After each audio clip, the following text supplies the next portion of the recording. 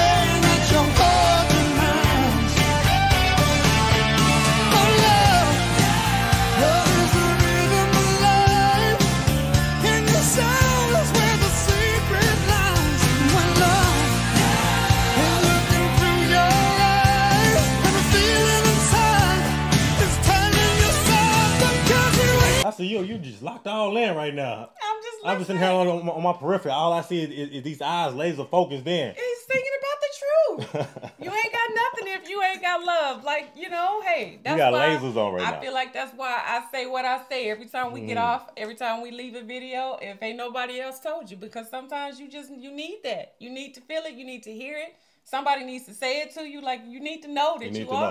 Yeah. definitely need to know. Absolutely. And, and I like how he's talking about like all this fortune and fame that you can gain in the world, but but it's nothing like having that one uh, main thing in your life in the promised land. He was saying something about the promised land. It's but, so crazy Yeah. because it almost makes you feel like if you don't have like love, you don't have like that feeling, it makes you feel very lonely, very alone. Mm-hmm. And you can have and you can have all everything in the world, but when you, you don't can. have that, if you don't have that four letter word, all those other things just mean nothing. Right. They're just ancillary. Mm. And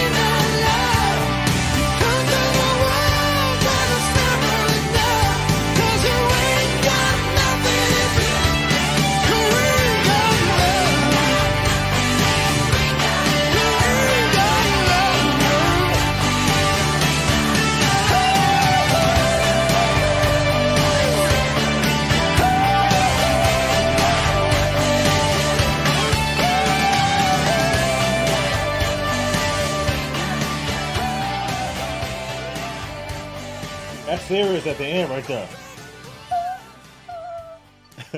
that was serious at the end. I can't do that. That was super serious at the end. Yeah, you ain't got nothing if you ain't got love. And just sing it over and over again. I'm feeling that all day. Yeah, he said you can conquer the world, y'all. You can do it. you can have everything. You can you can be living it, the dream life per se. Okay, but if you ain't got if you ain't got love, you ain't got nothing. Right. I love the way that this one just made me feel just at the end of the day. Do you need love though to to to be prosperous? To You need love to conquer the world. Mm. So you never truly conquer the world. what about for the people who don't like you know? Well, maybe I mean love in general. Love in general. It doesn't have to be with somebody. But yeah, we're just talking about love. Love in general. Exactly. Okay. You, you can't conquer the world if you don't have that. Okay, that makes sense. Yes. And and not just that, but this is like the first time that I've heard him with like the whole with the heavy rock element in the song too. Yeah. Not He sounded really really good with with, the- with the guitar and everything. no, I feel with, like he with does the rockish often feel. though. Not the no. This was rock. This was rockish. But but yeah. I feel like we've heard like Ma- Michael Bolton use like a little bit of that in his in his songs before. Y'all gotta remind me. You see how like big his song is, like his songs, and when we listen to him, I mean, he already has this really big voice. He has to have like big music behind him. I feel like this isn't the first time we've heard him use, like, utilize like rock elements in his songs. This is this for me it is for sure. Okay. Everything else we've heard more been more more like ballads, slower, kind of like blue eyed soul, you know, things like that. But this was like more upbeat, more energy, Yeah. more of the rock. It it, it, it, it this definitely for me put it put it like in the rock. This put this put him like in the rock category for this song for sure. Okay. Okay.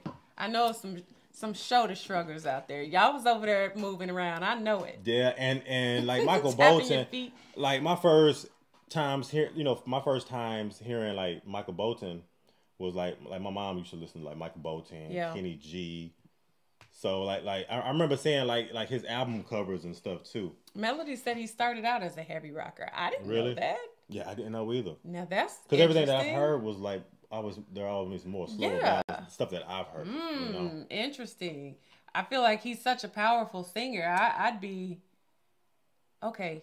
I need to go. but that to, like, explains a lot because rock. he because the way his, his the way his the way his voice sounds and hearing this song, like hey, yeah, he, he's like perfectly catered for rock there. Yeah. okay. Okay. But I did not know that either. See, Michelle said the same thing. Lee, Lee talking about, I'm over here chair dancing. I mean, like his melodies and, and just the, the power that he sings with, the conviction and the soul. Yeah. Like, definitely, again, like, I'm not even gonna say he's underrated because if you know, you know. So I'm not gonna say Michael Bolton is underrated by by any um, measure, but No. if you know, you know. If you know Michael Bolton, then you know he's one of the, the greatest singers. Absolutely. For sure. I would, I would have One to of the greatest male singers.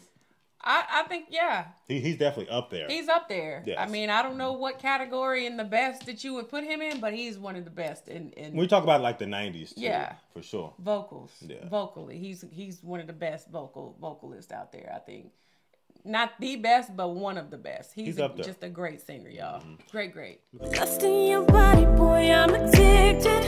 Insisting commitment predicted your intentions. I've waited too long, You, baby.